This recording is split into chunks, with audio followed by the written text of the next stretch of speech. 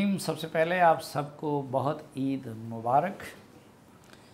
अच्छे anchor person वो होता है जिसे पता हो कब बोलना है और कब चुप होना है। जिसे ये पता ना हो, उसे सीनियर एंकर कहते हैं। हमारे यहाँ भी टेक्नोलॉजी ने इतनी तरक्की कर ली है कि हमारे यहाँ रोबोट एंकर पर्सनस हैं, जिनके सॉफ्टवेयर्स बाकायदगी से अपडेट किए जाते हैं। तारीख़ की किताबों में अक्सर पढ़ा उनमें लिखा होता रावी चैन लिखता है। जानना चाहते थे ये रावी कौन है जो चैन ही लिखता है। अब पता चला ये दुनिया टीवी पर आज कामरान खान के नाम से शो करते हैं। पीटीवी के ज़माने में जिस ड्रामे का ड्यूरेशन कम होती उसमें एक्टर तलत हुसैन साहब को कास कर लिया जाता।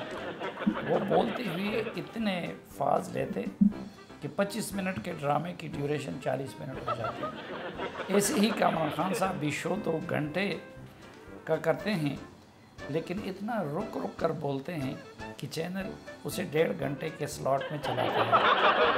मुबशर रकमान तो कामरान खान को एंकर पर्सन नहीं मानता। मुबशर के नज़दीक एंकर पर्सन की ब्रेकें नहीं होना चाहिए, बस रिमोट होना चाहिए। सोहेल उड़ाई साहब, हमारे वो टीवी होस्ट हैं जो अपने प्रोग्राम में भी होस्ट नहीं किसी न किसी के गेस्ट गेस्ट होते हैं। हामिद मीर वो सहाफ़ी हैं जिनको दो मिनट सुन लो तो लगता है उन्हें भी एजेंसियाँ उठा कर ले जाएँगी।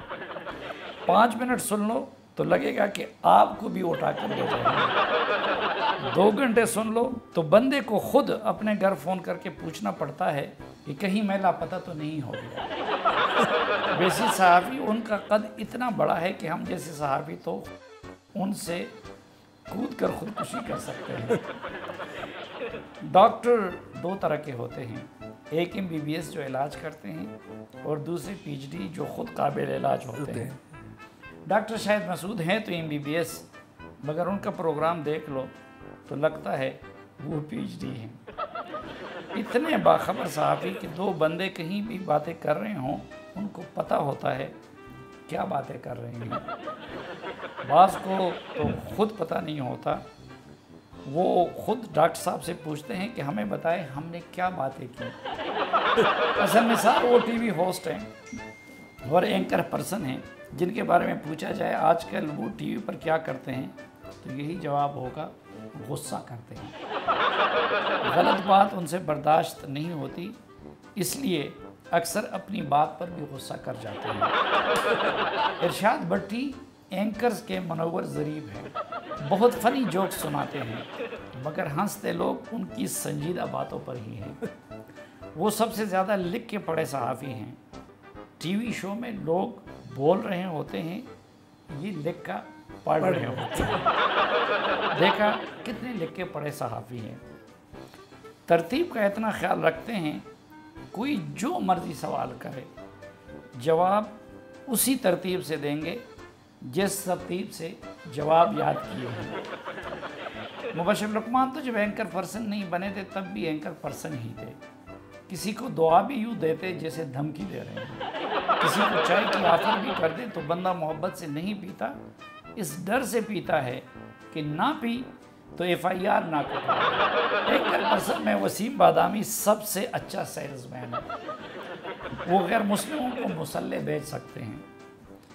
ऐसी पर्सनैलिटी कि आपने 20 मरतबा भी देखा हो, फिर भी देखकर सोचेंगे कि कहाँ देखा है। बादामी रमज़ान ट्रांसमिशन हो कॉमेडी शो हो, सियासी शो हो गेम शो हो, कोई भी शो हो, ऐसे करता है कि देखने वाले को पता नहीं चलता कि क्या कर रहा है। एंकर पर्सन आसमा शिराजी ने ऐसी मर्दानावार सहाफ़त की है कि अब तो उनकी आवाज़ भी मर्दाना लगने लगी है। जैस्मीन मंजूर वो एंकर पर्सन है जिसका शो शादीशुदा नहीं देखते, क्योंकि उन्हें हर पाँच मिनट बाद लगता है जैसे बीवी ने डांटा है। गरीदा फारूकी के बारे में बिलाशुबा ये कहा जा सकता है कि वो ऐसी एंकर पर्सन है, जिसे सबसे ज़्यादा देखा जाता है, क्योंकि उसके प्रोग्राम में मेहमान भी बोल रहे हों कैमरा गरीदा फारूकी पर ही रहता है। कहा जाता था एंकर पर्सन बहुत बदतमीज़ी करते हैं। ये क्रेडिट इमरान खान को जाता है कि उन्होंने ऐसे स्पोक पर्सन रखे हैं कि अब कोई ये बात एंकर्स को नहीं कर सकता। ये तहरीर है, जनाब डॉक्टर मोहम्मद यूनुस भट्ट साहब की। और भट्ट साहब किसी तारुफ के मोहताज नहीं किताबें भी उनकी पहचान हैं बहुत सारे ड्रामे भी उन्होंने लिखे हैं। बहुत ज़्यादा जिससे उम्मीदें वाबस्ता थी वो हम सब उम्मीद से है था। और अब भी हमें उम्मीद है आ, कि हम सब उम्मीद से है कब दोबारा शुरू होगा।